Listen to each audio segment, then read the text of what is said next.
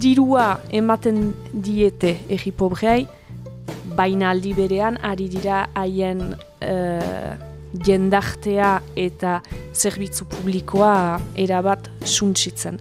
Beraz, horregaitik da biziki egeala suhiltzaile piromanoa, ren uh, konparaketa hori, zeren uh, zeren haien elkartasun diskurtsuaren gibelean, azken finean, egoera are okerrago bilakatzen dute izan duko bankuak, izan nazioarteko diru funtsak.